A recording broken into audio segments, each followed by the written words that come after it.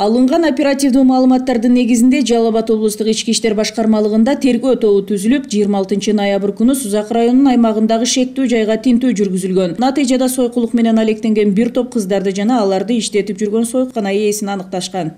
Сузак районунун аймагында жыйырма алтынчы ноябрь күнү атайын ушул аныкталган дарекке барган учурда чындыгында сойкулук менен алектенип жүргөн кыздар жана анын э,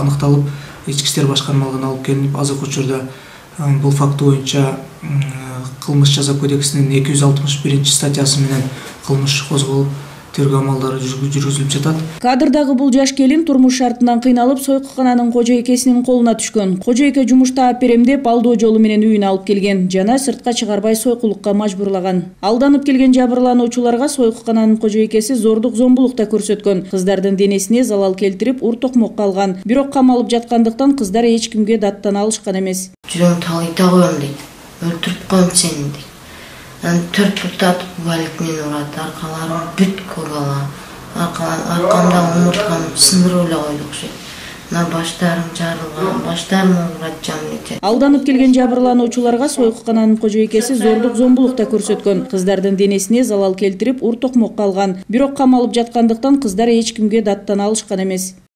Бетке бетке чапканда көзгө тийет го. Ошо көрбөй калдым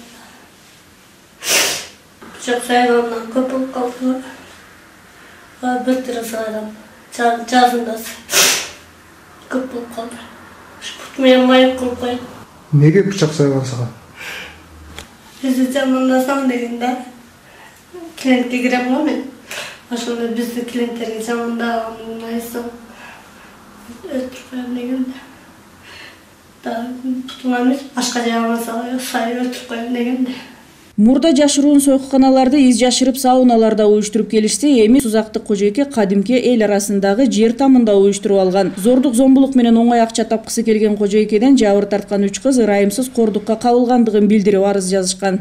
Алып келген учурда тергөөгө берген алгачкы көрсөтмөлөрүндө ошол кыздардын арасынан жети кыздын ичинен үч кыз кожойкесинин үстүнөн арыз жазды. Тактап айтканда ал буга чейин ушул кыздарды ырайымсыз кордук көрсөтүп аларды ушул күч колдонуп эч жакка чыгарбастан иштетип жүргөндүгү боюнча көрсөтмө берип милицияга азыркы учурда бизге арыз менен кайрылышты.